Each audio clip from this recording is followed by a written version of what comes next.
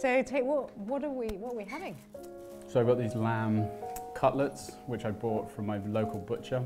With this kind of pan, because you get such a nice heat, I want to sear them on both sides. And right at the end, I just throw in a load of rosemary and fresh chili slices.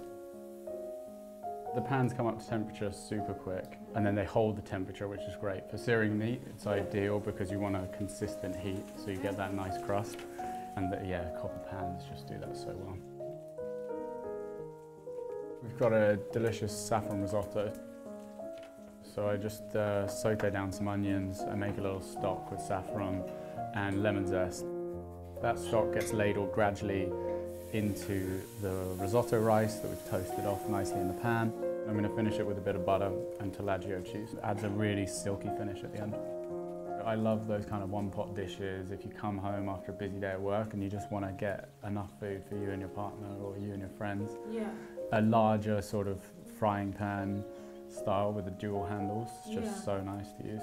So these scallops are lovely big hand dive scallops that I got from my local fishmonger, which I just put in a really searing hot pan in my pizza oven. We're gonna finish that with some sage, a little lemon juice and some salt.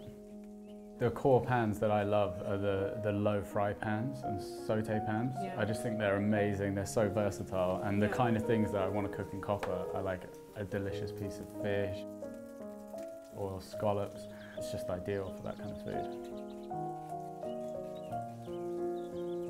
Copper's definitely more of a sort of luxury item. It's more, it's more kind of bespoke, it's, it's that next level up from, from stainless steel, and I think it's a pan that's going to last you a lifetime. And I think that's such a nice thing.